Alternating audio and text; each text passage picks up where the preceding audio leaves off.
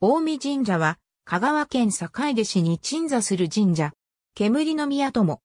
方言の乱によって、佐抜国へ配流された、ストク上皇は、長官2年8月26日に崩御する。上皇の遺体は、野沢井の清水に浸し続けられ、都からの処置の連絡を待った。ダビの許可の連絡が来るまで21日経っていたが、上皇の顔は綺麗だったという。9月16日に野沢井を出発した総列は、翌日、高谷の秋あたりで豪雨に相棺を大石に置いている土地が滴り落ちていたという。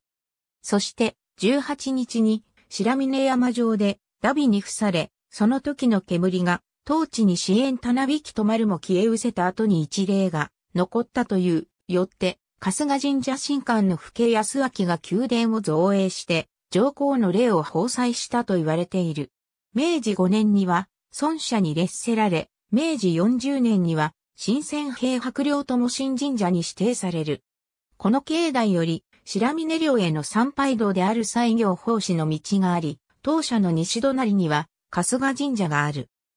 掛け幕も、賢き青神神社の大前を拝み立て祭りて、恐れみ恐れみも毛作大臣等の広敷厚き、ご恵みを片付けな見立て祭り高き尊き神教の、まにまに天皇を仰ぎ立て祭り直帰、まさしき真心持ちて誠の道に、いふことなく、追いもつ号に励ましめた前かもんだかく見したたかに世の、ため人のために尽くさしめたまえと、恐れみ恐れみも、いわくす。